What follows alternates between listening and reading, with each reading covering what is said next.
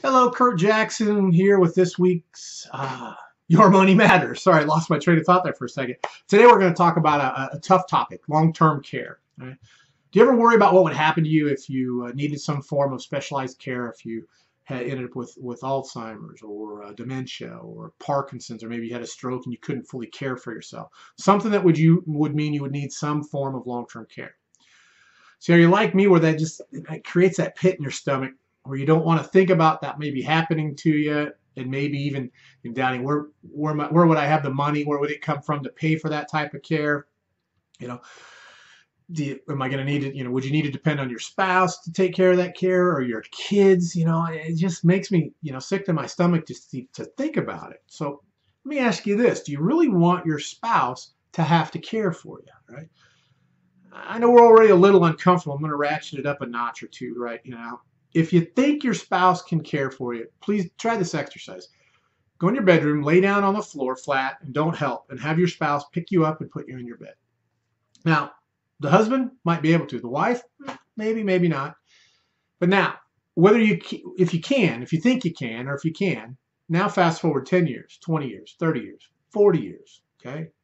Would you be able to then? Right? Would you want to have to do that then?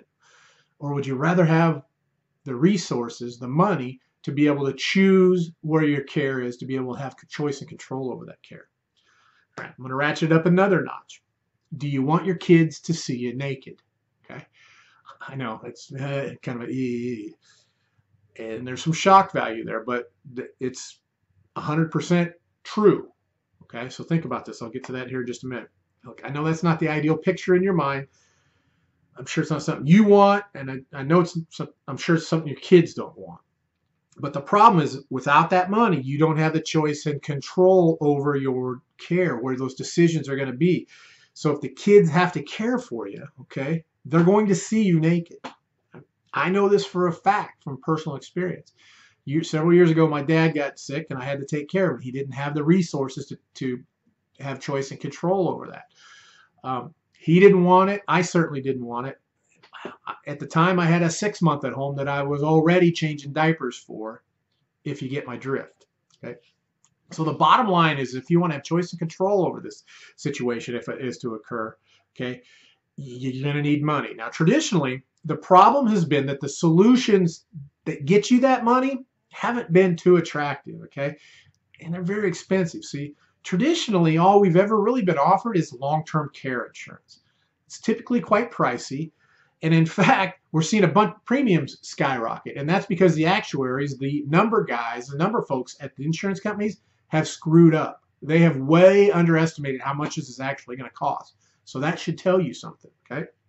All right, so um, so it's very expensive. We're already seeing premium increases, and it's almost always a, a use it or lose it proposition. If you don't use it, you know you lose it. Okay, so how attractive is a solution that costs a lot, the price keeps rising, and then you have to use it. If you don't use it, you lose all that money. Can anyone be blamed for not really wanting to pay that price? Maybe that's why we, we don't have that many folks that are um, that are actually buying it. So now you might be thinking along the lines of, hey, I'm not going to need long-term care. Okay, uh, and if I do, Medicare is going to cover it. Well, let me set you straight on that. First of all, Medicare doesn't cover long-term care. Uh, they will cover up to 100 days of care after a qualifying event, but it's not ongoing care. It's really kind of a more of a rehab type thing. Right. Second, if you don't think you'll need it, the numbers tell a quite different story. You know, we're living longer, right? So if you reach age 65, right, and there's probably about an 80% chance that you'll do that. If you reach age, age 65, there's a 72% chance you're going to need some form of specialized care in retirement, okay? We call that long-term care. So is that something you want that more choice and control over? If you could find an affordable way to provide the pr protection that you need, would you be open to finding out if it would make sense for your situation? If it could also make sure that if you didn't use it, you didn't lose it, would that make a difference? Okay. Say you didn't need it at all, or maybe you, you, you needed some, but you didn't use it all up. Um, where then whatever money's left over would pass to your heirs. So um, think about this. So let me ask you a question. Are you on this topic, and I know it's not a topic that we really want to talk about or think about, but come on, we, at some point in time, we need to plan for the future. We don't want to just use do you want the government's plan for you or do you want your plan for you so if you want to have your plan you're going to have to figure out how to find the resources to give you that choice and control so you're here watching this so there's some there's some, definitely some interest or you wouldn't be here watching this. Let me ask you if we could put it on a scale of 1 to 10 with 1 you could care less and 10 means man i need to do something kurt right now. Let's do something right now. Okay? Um, where would you find yourself on, on that on that uh, spectrum on 1 to 10 are, are you in that 7 to maybe 10 range where this is something that's really important to you? And if you could find a solution that was really affordable and you felt it would provide the benefits you're seeking and it wasn't a use it or lose it proposition then you'd want to learn about it right away. Uh, is that where you are? Uh, if it is then that might make it might make sense for us to get together over coffee lunch you know talk on the phone to see if it might make sense for you protecting your family if you're you know a, a one to a six, yeah, maybe not. You know, maybe it's going to take a little longer before you for that to to to, uh, to kick in. But what I want to leave you with this is if you're that seven to ten, then I encourage you to reach out to me or someone that that is like me. If you don't, if you don't, if you know someone along those lines, I'm guessing if you do, you wouldn't probably be here watching this either. Um, but if you'd like to learn more about this affordable solution, um, it's pretty pretty neat how, how these strategies can work. And we've got several different strategies that we can look at to see if we can make one fit within what you want.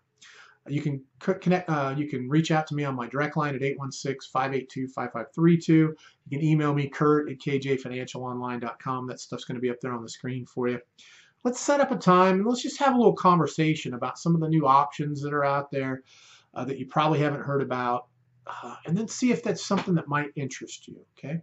Hey, I want to thank you for spending a little time with us this week. I hope you found some some value in this installment of Your Money Matters. I know it's kind of a, a tough topic, and I I use a little shock value with you, but it was true shock value. Um, with the you don't want your you want your kids to see you naked. Um, so if you did find some value in all this, uh, whether you get friends, family, coworkers that you think might find some value, please share the link. This is information I think everybody should know so they can make decisions on whether or not they want to pursue it or not, but at least you'd have that option uh, since you knew about it. So thanks for tuning in. I hope you have a great week. Make sure you tune in next week.